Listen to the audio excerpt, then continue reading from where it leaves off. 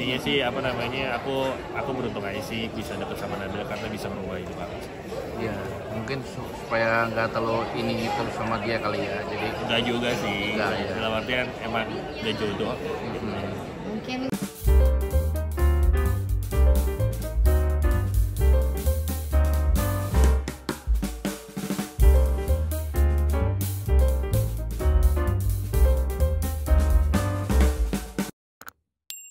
yes, yes sama Nabila gimana nih setelah menikah nih? Udah eh udah berapa lama sih nih? Berapa bulan? tanggal Belum 20 nyampe- belum nyampe sebulan. belum sebulan Udah bulan madu belum? belum. belum jalan-jalan singkat aja kemarin Hah? jalan-jalan singkat aja Oh ke mana kemarin? Jadi kan kita akad nikahnya kebetulan di tempat kelahiran aku di Aceh, Takengon. Jadi kayak kita jalan-jalan cuma di situ aja, habis itu kita balik ke Jakarta. benar Dulu dia kenal di mana sih sama Nabila? Aku tuh kebetulan sama Nabila tuh kenal gara-gara eh, satu judul MTV bareng terus kita satu judul terus Terus bareng ketemu di kerjaan sih. terus habis itu kita sebelum deket juga kita punya usaha dan akhirnya ya udah sering ketemu jodoh deh Tahun berapa itu? Baru awal aku kenal dia tuh Januari, Januari. 2022. Baru pun baru kenal, jadi kita tuh bisa dihitung baru kenal 10 bulan eh, dan akhirnya memutuskan untuk. Jadi Lias ini nggak mau ini ya nggak mau lama-lama lagi seperti yang sebelumnya ya sama almarhum ya.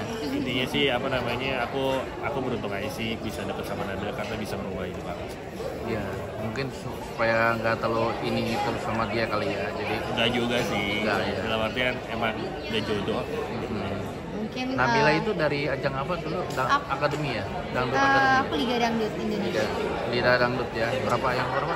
Yang season yang pertama. Oh, sama Lesti berarti ya? Bukan, Eh, kalau uh, Kalesti itu Dangdut Academy, aku Liga Dangdut. Oh gitu ya.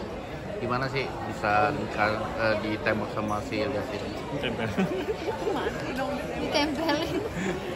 ya sebenarnya awalnya dari kenal pun kita karena sama-sama kerja gitu, ketemunya di kerjaan, awalnya biasa aja, terus sering berjalannya waktu makin sering ketemu dan ternyata dia juga orangnya asik, makin nyambung sampai kita akhirnya memutuskan untuk usaha bareng gitu. Ya makin lama, makin lama ya banyak kecocokan aja sih. Ya. Iya. Nggak saling tahu. Jadi sebelumnya belum tahu sama-sama belum tahu ya. Ya, masalah mungkin kamu juga masalah punya masalah lalu juga ya ya karena kan dulunya belum kenal gitu. Jadi awal kenalnya tuh tukar kerja. oh, gitu ya nah terus sekarang ngapain nih berdua lagi sibuk apa? Kita lagi sibuk bikin usaha bareng sih. Kita kan sebelumnya punya usaha cuman kita lagi pengen ngembangin ngembangin ke arah situ. Dan ya sudah pengen ngembangin diri pengen apa ngembangin hal-hal yang gak di zona nyaman kita. Sekarang kita lagi eh, mungkin karena baru nikah juga. Ya selain syuting kayak biasanya pastinya itu tadi ngembangin usaha terus kita juga mau konsistenin YouTube sih rencananya kayak gitu. Cuman gitu ya ya. Bikin single-single baru lagi Iya benar. dangdut masih ini nggak?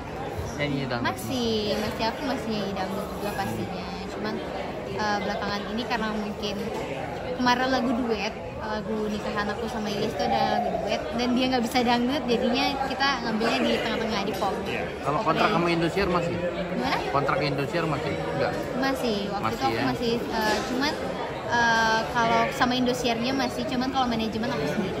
sendiri sekarang ya Hmm. ada bikin lagu dangdut nggak sih nah itu sebenarnya aku lagi pengen Lagi, coba aku sih. lagi nge-challenge dia Aku nih lagi untuk challenge sih. menciptakan lagu dangdut nih. makanya kadang-kadang aku lagi lagi aku kan emang apa, aku emang pribadi buta banget tentang musik dangdut ya. Cuman aku nge-challenge aja. Soalnya kemarin aku pengen aku yang lagu sama itu kan Arabic pop. Dan sebelumnya aku juga nggak tahu nih Arabic pop tuh apa kayak gitu kan. Jadi aku nge-challenge ini buat bikin lagu. Dan sekarang aku lagi nge-challenge buat bikin lagu dangdut kan. Coba I try. Ada lagu kemesraan nggak sih? Ini lu gue lihat dari tadi mesra terus nih berdua Waduh. Ya kan namanya juga pengantin baru, gak apa-apa lah. udah hamil lu belum Belum, ya? doain ya. ya oke makasih